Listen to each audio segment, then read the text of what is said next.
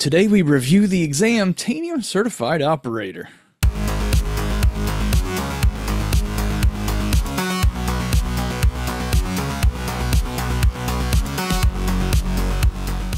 Welcome back to Tanium Tech Talks. I'm your host, Ashley McGlone, and welcome to this installment here as we're kicking off the Tanium Certification Series. And today we're going to look at the entry level Tanium Certified Operator exam, the TCO.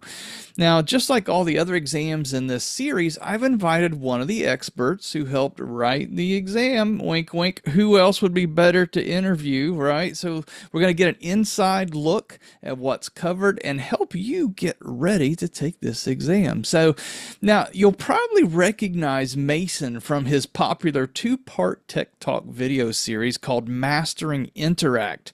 And that sailed to the top of the charts for this show last year uh, because because you voted with your clicks and everybody loved that video series, which really covers a lot of what uh, you're going to need for this exam anyway. So, so Mason, welcome back to the show. For those who haven't met you yet, please introduce yourself.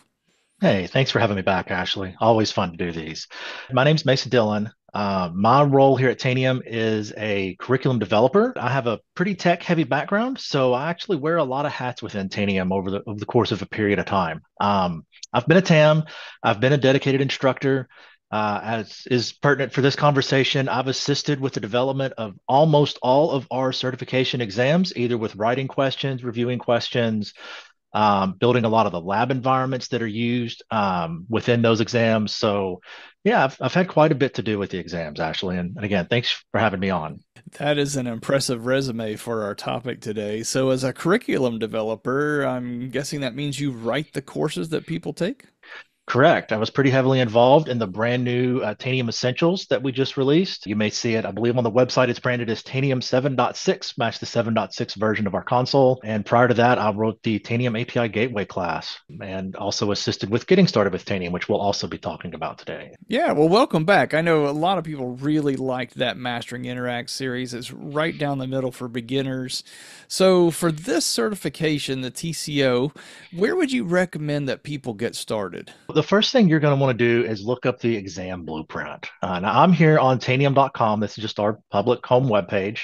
And if you go to customers, and then under become an expert, you can click Tanium Learning. And there's a lot of good information under here, right? All of our training uh, information is here, how to advance to various levels of product mastery, knowledge, career enhancement.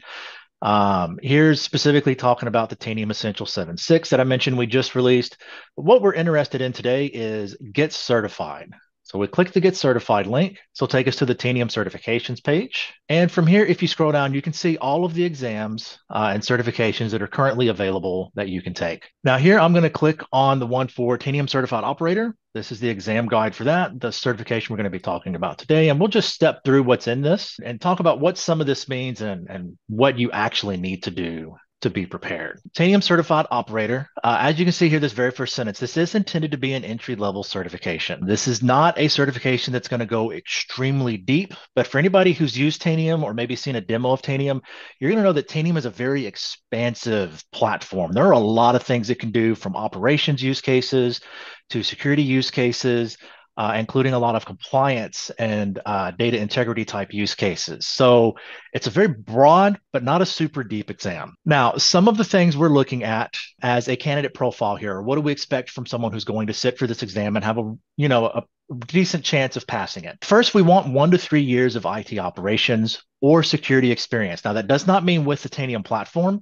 This is more just you working in an IT role somewhere, or maybe a couple of somewheres over that amount of time, so that you have a good idea of basic IT lingo, if you will. If I say an IP address, or I say this computer has an IP address of 1.1.1.1, make sure I get the right number of dots there. You should have a basic idea of what that means. That should not be confusing to you. If I talk about DNS, you don't have to be a DNS expert, but do you at least understand that that's a, a domain name system that lets us turn, you know, a website name like tanium.com into something that my computer can find? Uh, on the security side, if I talk about threat hunting, you need to understand that means looking for a threat and what type of threats might exist. You know, what is a virus, what is malware, things of that nature.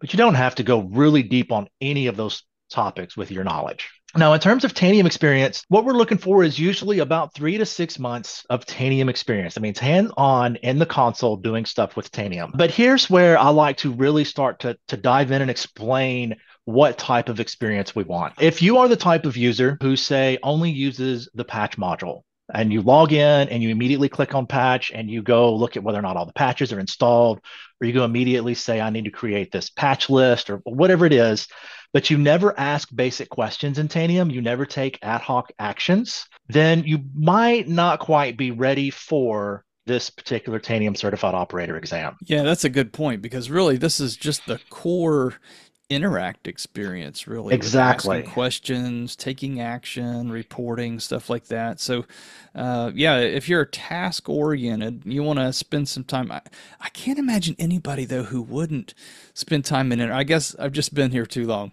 Um, you know just uh, asking questions and interact that's the thrill of using tanium for the first time when you see those results and now it's like millisecond response. It's crazy. Exactly. Yeah.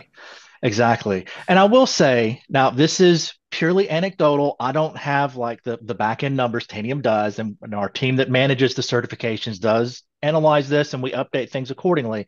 But anecdotally, when I have talked to people about their exam experience, particularly people who may not have passed on their first try, it is usually uh, that they didn't have enough practical knowledge about how to ask a question, you know, how to tell which of these options would get the data they wanted or what to fix in this question to maybe drill down a little bit deeper on a specific item. So that's the kind of stuff that even if you're using Tanium a lot, and I've, I've had customers I've talked to who have been Tanium customers for multiple years, but again, they're very specific on module activity. And so the question parts are where they really struggled with the exam.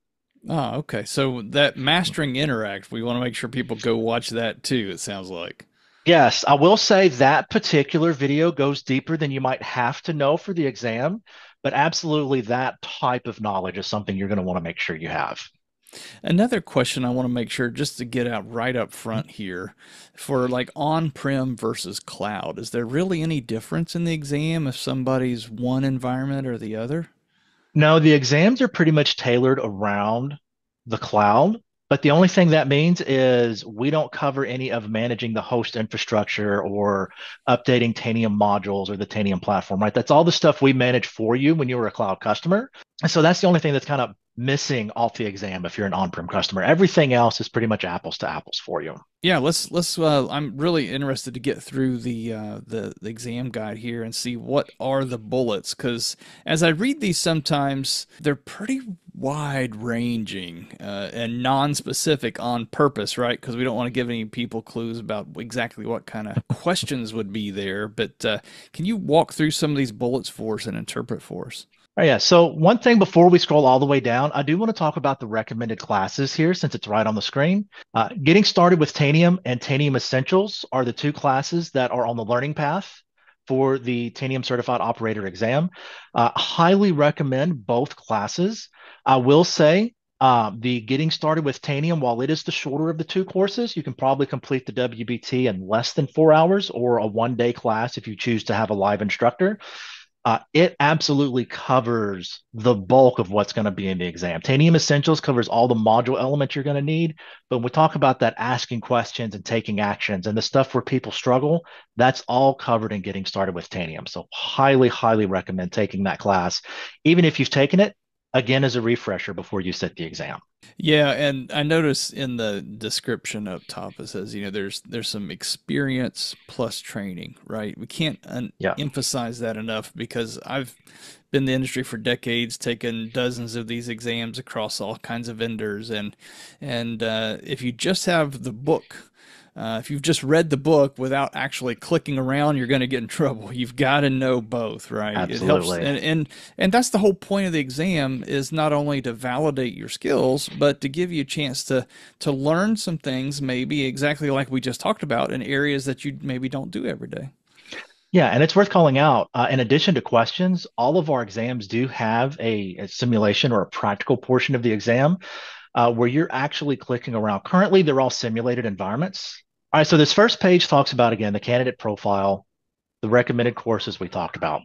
Scroll down to the second page, and we have the actual exam blueprint. This is where we talk about uh, very specific bullet points of what type of topics you need to know or what type of task you would want to be able to complete in Tanium to feel comfortable taking this exam. Now, I'm, I'm, sort of repeating myself, but I do feel this is really important. So I'm going to call it out again here. We have asking questions at 22%, refining questions at 23%. And then over here, report generation and data export uh, at 17%. And then finally, at the bottom, taking action at 15%. All four of those sections all include this basic Tanium question knowledge we're talking about, actually, that stuff you get from Mastering Interact, not just how do I say what's my computer name, but how do I say what's the computer name from a very specific subset of computers, possibly even ultimately figuring out a specific computer. I may not know that it's Bob's PC, but I know that there's a computer that has an unauthorized version of some piece of software installed. How do I use a question to figure out the computer name? The software is all I know. That's the kind of stuff you're going to want. And if you add these percentages up, 60% here is directly related to questions and question filtering in some way, with an additional 17% over here where all of that knowledge is very applicable to the stuff you're going to be doing with reports and data exports and so on. So again, I can't stress enough how important this piece of the of knowledge is for the exam. All right, so that leads me to ask then the top right corner on navigation and module functions. And if I'm an exam student, I'm thinking, oh, wait, I don't have, maybe they ask about a module I don't have. Uh, put our uh, fears to bed there. What what kind of modules are you going to ask about there? Yeah, so any module is a candidate to have a question on this exam. However, as I mentioned earlier, it's really kind of high level stuff, and it's more generic conceptually, uh, and not anything really deep. So, for example, let's say um, you're an operations expert, right? You know all about patching, all about deploying software and other related tasks, but you don't know much about threat response. I might ask you a question that's along the lines of how do I navigate or how would you navigate into threat response and view details about an alert? Well, that's not super difficult. If you know how to get to patch, click on modules, go down to patch, and maybe go to patch overview and I get to the basic patch page. And from here, I can start navigating to specific elements of patch. Threat response is no different. Go to modules, threat response, hit the overview page. And then from here, I can navigate to pretty much anywhere else in threat response I want to go. And so right here in the navigation menu, I see something for alerts. So as a candidate who doesn't know threat response, I'll go ahead and click on alerts. Lo and behold, Here's a list of alerts. Now, the question mentioned details. This is also a very common icon throughout Tanium. This is what we sometimes call the details icon, or you'll hear people refer to it as the tray or pulling out the drawer. Regardless, if you see this icon and click on it, that's when we're going to pull out this little side window that gives you all of the details. You've now looked at the details for this threat response alert, and you've satisfied the needs for that question. So again, you may not know threat response, but as deep as we're going, if you know one module, you know enough high level stuff to be able to navigate into another module and find what it is we're going to ask you to find. And I like how you explain that because you're right. Those are relatively universal design concepts across any module. And yep. just following the, the prompts, if you've never used it, I think you'll probably be able to get there. Exactly. And that's exactly what we want, right? We're not trying to trip anybody up. This isn't stump the chump. We just want to know that you have a basic understanding of Tanium. Can you navigate the console? Can you ask questions? Can you take actions? Right? If you have that stuff down, we're not going to try to trip you by throwing you a curveball, something that you have no reason to know about because of your particular job. We, we have no desire to do that here. All right. So most of this exam is then asking questions, taking action. So uh, let's let's get into that because I notice here it says the first section is asking questions, the next mm-hmm. one's refining questions, which is very nuanced. Uh, so there you got forty five percent on just asking and refining questions. That's really good. It is, yeah. And I'll sort of read through a few of these bullet points. Uh, I'm not going to read every one of them, they're on screen. You, you can definitely read them for yourself, but a few of them to kind of call out what the difference in these two sections is. Uh, so the first one here given a scenario, query endpoints for real time information. This is very simple. Um, I ultimately would want you to figure out something like if I do um, get installed applications from all machines, what's that going to do? It's going to give me a list of all the applications on all machines. Now, down here under refining questions, that first bullet point is given a scenario, target endpoints for questions or actions by using natural language questions or the question builder. So the key thing to really call out of this sentence, there's a lot of extra fluff there, if you will. The key thing is target endpoints. I don't want to just ask get installed applications. I want to be more specific. Yeah, so jumping back into the console, that first question, get installed applications. And you know what? I'm going to leave that little typo there because the natural language parser will see right through it for us. We're okay get installed applications from all machines. This is literally every application from every machine. And if I took the time to dig here, you could find that there are Solaris machines in this environment that as a Windows administrator, I wouldn't care about. There's who knows how many variants of Linux in our environment, lots of things I don't care about. So how do I target this down a little bit? Well, in this case, I'm going to say I just want all of the Windows workstations. So from all machines with Windows OS type contains workstation. Now, what did I do? Uh, we we basically just added a filter, right? And this is how we started to narrow down and target specific endpoints. I'm still getting installed applications. Windows OS type is another sensor, and I'm saying if it contains the word workstation. Now, when I run this, you'll see I'll go from almost 10,000 results to maybe half that is going to be my guess. We'll see. Oh, trimmed it down even more than I thought. Windows, uh, much less of an install base apparently in this environment, only 107 unique results now. So you can see now I've targeted this down to a much smaller subset of machines, much more targeted data. And this is the difference in those two, right? One is just how do I ask a question? The other is how do I get more specific with that question? Yeah, and it said targeting for like taking actions as well. So I'm wondering, would it prefer to say like get online? from all machines with installed applications contains Photoshop or something like that? Absolutely, we could go that route. So let's break down just taking action in general. From this set of results, let's say I want to uninstall Toad for Oracle.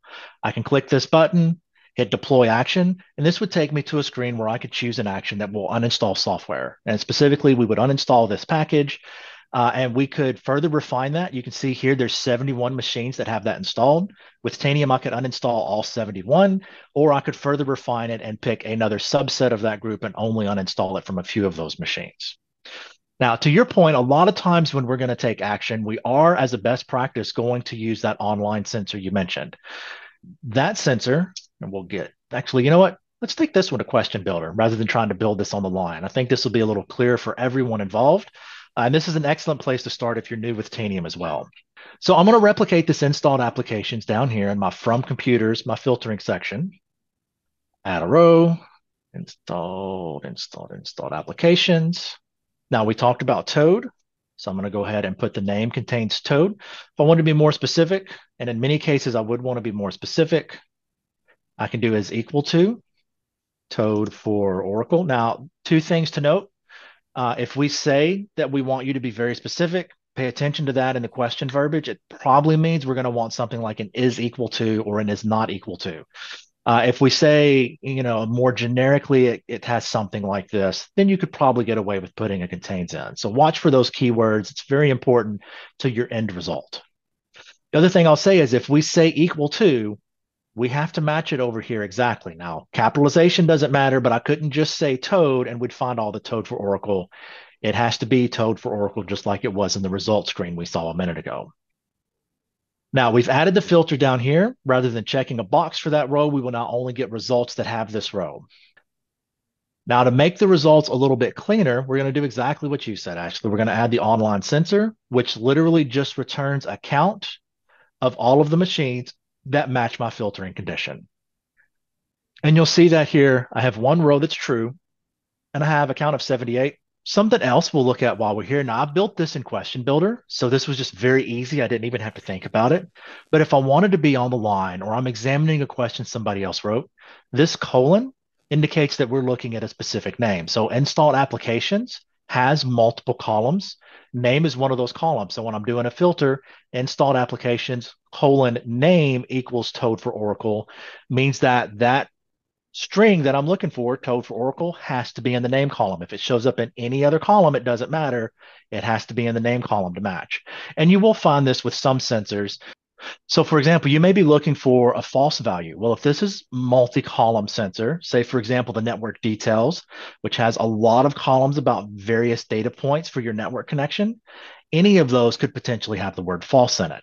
If I only care about false from whether or not it's a Wi-Fi card, then I'm going to very specifically say network details colon Wi-Fi enabled or something similar, right? That specific column that I want to find that false in. So I don't get a bunch of false positives as well. Being conscious of the time we have available, there's a lot on the exam. Again, it's a beginner exam, but a lot of uh, details, drilling in, asking questions, getting results, filtering results. How about taking action? Um, what uh, specifically do people need to understand about taking action? All right, so back to this question where we had the get online from all machines. Uh, we're going to use this to target an action. So if I just check true, that's the only call, row we've got. I could check other rows if we had them, but this is the preferred best practice way to do things. Click on deploy action. All right, now the next thing we're going to do is uh, select our deployment package. So in this case, I'm just going to put a custom tag. Uh, now, custom tags are really useful for grouping machines together when they may not have a lot of other things that group them together. Now, in this case, we look specifically for Toad, but let's imagine a situation where maybe we're looking to have a computer group for all the various Oracle tools. So I found Toad for Oracle, and I'm going to tag those. Later, I might find I might find all the servers that have a particular uh, Oracle database version installed on them and tag those. Right, I got lots of options there, but this is very useful for grouping computers together with ways that may not be super obvious, uh, be a little bit more what we might think of a manual group, but we still want to use custom tagging for it. So in this case, I'm just going to call this Oracle Tools. And you will notice I put a hyphen there. It's worth calling out. This is space delimited. If I did Oracle Space Tools, I'd actually get two different tags, one for the word Oracle, to the word tools. Seen that catch a few uh, Tanium users off guard, so just be aware of that. Now, I do have options here by default, we're going to name the deployment after the package being deployed. We could change the name of this if we wanted to. Could also add a description. Let's say I'm doing this because of a service desk ticket and a particular manager approved this action. I might want to put those details in there, just a little bit of CYA, if you will, in case anybody asks questions later. Yeah, I've seen some places that'll say it's it's already going to log in the action history who logged it in the time, but maybe like a change control number or something like that. Right. Yep, that's very common. But deployment schedule, I'm going to leave this as a one-time deployment. I do have options for a recurring deployment, and then I could make this action happen, say, once an hour, once every two or three hours. Uh, and you're going to want to understand how some of these work. So when I do a recurring deployment, do I want an end at date or not? When would I want to end it? If I want to start at date, maybe I want to start this in the future. Uh, make sure you're aware of those options. And I say that because back over here on the certification exam, that is, given a scenario, automate remediation using scheduled recurring actions. That is one of our bullet points here. So make sure you're familiar with doing that. And then I'll scroll down. I mentioned I could do some additional filtering here. So I've got these 71 machines. If I really needed to, I could add a different computer group. Like I've got uh, Windows workstations in there, but maybe I only want to do these for the finance department. Maybe they're the only ones I care about for whatever action it is I'm taking. Add a computer group, pick the finance department, and we'll further scope this down. And we'll ultimately see less machines over here. I've got to call out the distribute over checkbox. That is so crucial. You are not wrong. Distribute over. This is an important one to know. Effectively, this lets us slow down the action. Now, Tanium is amazing at real time data and real time actions. If you tell Tanium you want to make a change on a million endpoints at once, Tanium will make a change on a million endpoints at once, which sounds amazing until you realize half a million of those endpoints are on shared infrastructure because you're running a big virtual server farm. And now you're killing those shared resources because everybody's installing a copy of Office at the same time. Even something as simple as everybody changing a reg key value from zero to one. If you do it on a densely populated virtual host, um, that adds up and, and you can notice the blip. And in worst case scenarios, you could actually end up doing some harm to the environment, even if only temporary, still things we want to avoid. So yeah, distribute over. Um, I always say if you don't know, if you're sitting there and you're scratching your head and you're saying, I really, I don't know what kind of distribute over I should do for this action, an hour is a safe bet. If you know something is heavy handed, you can do more. You could do a couple of hours. I don't deploy very many actions like that. And if I do, I tend to only go to a few computers at a time. If I don't know, an hour is a safe bet. And I can go down to say 10 or 15 minutes if I know for sure. Again, a reg key change. It doesn't take a long time. I just want to make sure they don't all happen in the same minute. Now, once we've got all that set up, You can hit show preview to continue. And this is your last chance to look at the actual name of those 71 computers. We also show the IP address if that's of interest to you. You can scroll through this list, make sure everything looks normal. I what I normally tell people, if you've got one or two machines, you probably know the name of those one or two machines you were targeting, and you can look at it and make sure your list is correct. Once you start getting up to a few dozen machines, you may not know the name, but you probably know a naming convention or a subnet you were trying to get to, some other information where you can just quickly scroll through here and see if anything stands out as odd to you. Anything that would make you pump the brakes for a moment and go back and verify everything else you've done. Once you're happy, hit deploy action, and we'll start deploying this custom tag to all of the machines in this list. And if you targeted a lot of machines, there's a quick sanity check that says, please type in the number. And it shows you the number. There is. And you have to type in the number again just to make sure you really want to take action on all those machines. Yep. Like I said, it's just that last check. If I'm fixing to type in 50,000, is that really how many machines? Like I'm, I'm really, I know now because I had to type it in. It's that many. And is that really what I wanted? Sometimes it is. And Tanium is amazing for that. Sometimes mm. it's not. And Tanium can help you generate a resume if you're not really careful. So we give you every opportunity to be really careful. Yeah, Mason, unfortunately, we're running down on time pretty quick here. I know there's also something about uh, computer groups and reporting. We can't cover all everything. How about uh, reporting? What do I need to know about reporting for the exam? Reporting is really going to cover a lot of the same kind of concepts. So, in the current version of the exam, we actually use the reporting feature uh, for some of you who may have taken this exam in the past, you'll remember we covered trends. We actually use the reporting feature. So, what you want to be able to do is going in here to either explore data and know how to get to data here. So, this is similar, but not exactly the same as asking a question. For example, instead of having to know a sensor, I can go all the way down to a specific column. So, earlier I used installed applications and I showed you it had multiple columns. I don't, with a report, have to have all those columns. I can grab just the name, or just the version and add those to my report. So you're going to want to know how to go in, browse through the data, and build a report this way. You're also going to want to know how to go in here and scan through the reports that are already there, pick the report you need, possibly even make a change to it. So if I load up ADI basic inventory, if I was to make some changes here, apply a different filter, add another column of data, instead of saving to the original report, I would save as and create a new report for this. So you're going to want to be familiar with steps like that. Mason, this is really handy. Um, and again, to our viewers, uh, this is just a, a quick overview, right? It Very requires hands-on overview. experience uh, and the training, right? That'll all get you ready for this.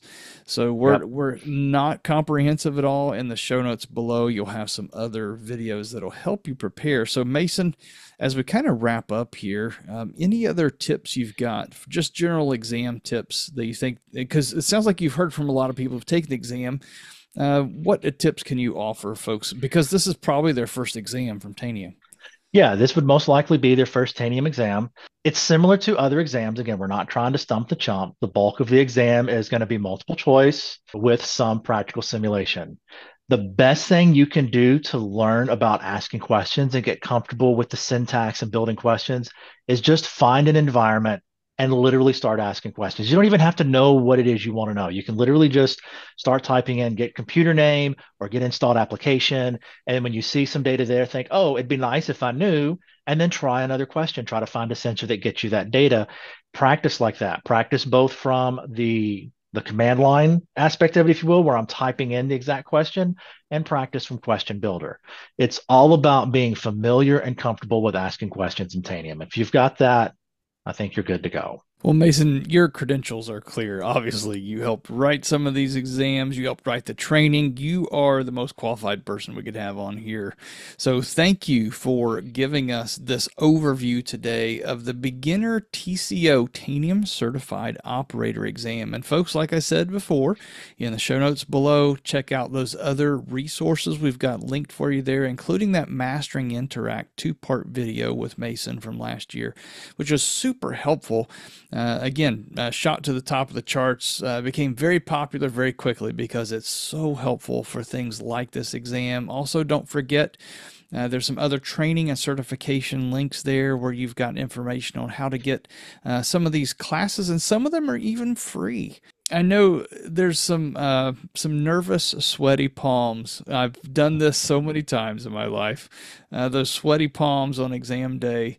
But I tell you, uh, watch these videos, get some practice, hands on, and uh, we'll be there for you to uh, give you a high five on the way out at Converge. You can take these exams for a, a significant discount in person at Converge if you'd like to join us in November as well. So, with that, I'm going to wrap up this episode of Tanium Tech Talks. And until next time, go Tanium.